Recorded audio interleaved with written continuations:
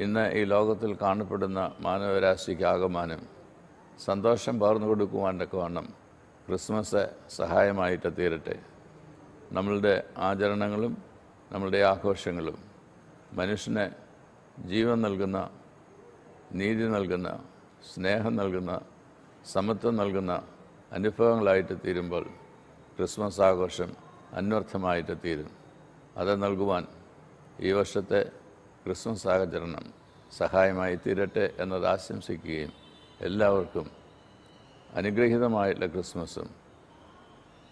അനുഗ്രഹം നിറഞ്ഞതാ സന്തോഷം നിറഞ്ഞതായുള്ള പുതുവത്സരവും ഞാൻ ആശംസിക്കുകയും ചെയ്യുന്നു. നന്ദി.